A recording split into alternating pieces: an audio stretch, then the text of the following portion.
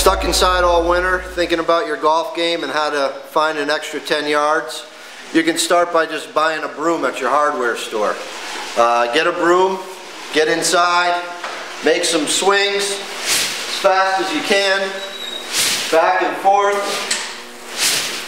Do that for 30 seconds, switch arms, go the opposite way. Do that for 30 seconds. The weight of the broom and the resistance is going to help you build your golf muscles, help you work on your rotation, helps you increase your club head speed.